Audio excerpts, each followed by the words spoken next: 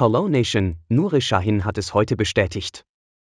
Aber zunächst einmal, wenn Sie ein treuer Fan von Borussia Dortmund sind und mehr Informationen wie diese möchten, empfehle ich, den Kanal zu abonnieren und die Glocke zu aktivieren, da ich alle Neuigkeiten verfolge und Sie hier aus erster Hand auf dem laufenden Halt sind.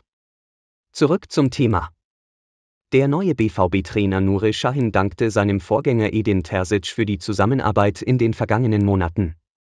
Edin und ich waren ein Team, wir waren uns immer einig, sagte Shahin in einem Interview mit den Medien von Borussia Dortmund. Edin hat mir seine Türen völlig geöffnet.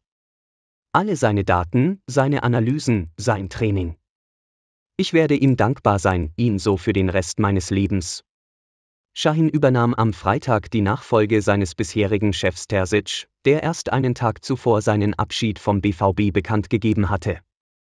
Mir wurden in den letzten sechs Monaten viele Freiheiten gegeben, ich konnte meinen Verein noch einmal kennenlernen, sagte Shahin über die Zusammenarbeit mit Terzic.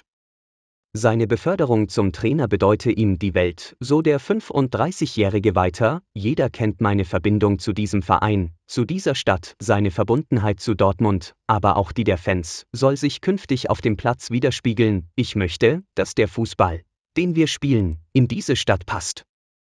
Den Grundstein dafür will Shahin künftig Tag für Tag im Training bei Brackel legen. Hier muss der Geist geschaffen werden, hier müssen wir arbeiten, hier müssen wir leiden, hier müssen wir lachen, hier müssen wir weinen. Auch hier muss gearbeitet werden. Werfen wir alles auf die Waage, sagte er. Damit Sie keine Informationen wie diese mehr Flecken hinterlassen, hinterlassen Sie ein Like auf dem Video, damit YouTube weiterhin Videos für Sie teilen kann. Und vergessen Sie nicht, den Kanal zu abonnieren und die Glocke zu aktivieren, damit Sie keine Neuigkeiten von unserem Team bemerken. Und das ist eine Umrüstung.